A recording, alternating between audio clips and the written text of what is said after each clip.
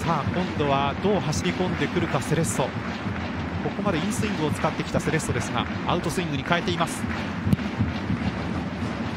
西野だセレッソ逆転!アカデミー出身の若きセンターバックが桜の義人に捧げる一発。アウトスイングのボールが当たりましたよね、はい、素晴らしいヘディングですね。うまく間に入りましたね。いや高いですねジャンプが。そうですね。いや素晴らしいです